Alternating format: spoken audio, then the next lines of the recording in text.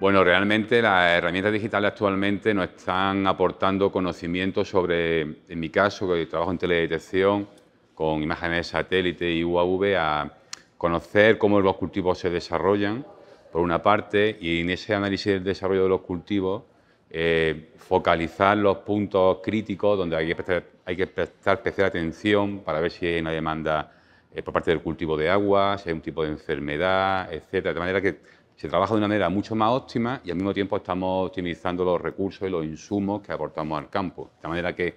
se maximiza por una parte la producción de los cultivos, se cuida del medio ambiente y estamos trabajando de una manera mucho más resiliente. Bueno, yo, nosotros somos, trabajamos en la universidad y somos firmes defensores de que hay que invertir en capital humano, en la formación de, los usuarios mm, a todos los niveles, no solamente de técnicos, sino también a agricultores, ahí es donde está la clave. Eh, obviamente hay que escalar y dimensionar esa formación, ese acercamiento a estas herramientas, pero es muy importante que por una parte el productor conozca qué le aporta y qué le beneficia el uso de esta herramienta y luego todos los técnicos, empresarios de servicio, con una formación adecuada, hay que invertir, como digo, en capital humano, vayan haciendo esas competencias digitales.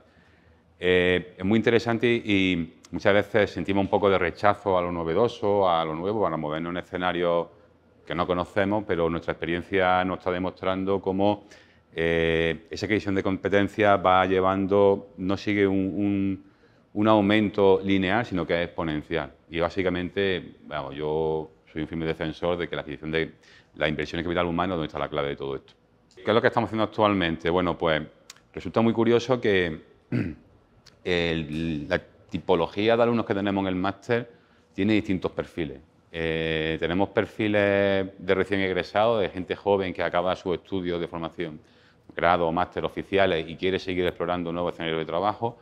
Y también tenemos muchos perfiles técnicos y profesionales de empresa privada y administración que también están cursando esta, esta maestría. Pero insisto, yo ojalá sea así, en un futuro este máster no tenga sentido porque todo el mundo ya está formado digitalmente. ¿Cómo romper la brecha digital? Bueno, en primer lugar, tener una buena infraestructura tecnológica de redes de comunicaciones, porque obviamente gran parte de eh, todos estos servicios digitales que se están generando están basados en las telecomunicaciones. Si pinchamos un sensor en el campo y resulta que no hay cobertura de Internet para poder transmitir en tiempo real esa información de los sensores, pues no, no sirve para nada. Entonces, por una parte, habría que invertir en infraestructuras tecnológicas por parte de los gobiernos, obviamente. Eh, Luego, eh, esa brecha digital eh, resulta alguna vez un poco curiosa porque todo el mundo tiene hoy día un teléfono móvil y pensamos que está un poco eh, lejano de lo que sería el desarrollo tecnológico, pero todo el mundo tiene acceso, como digo, a tecnología de la información. Lo que falta es lo que comentaba anteriormente, invertir en capital humano, invertir en formación y conocimiento. Yo creo que ahí está la clave de todo esto. Bueno, la idea y el objetivo de esta colaboración con IICA es que estos chicos retornen a sus países y a partir de ahí diseminen todos los conocimientos y experiencias que han ido adquiriendo en, estos meses.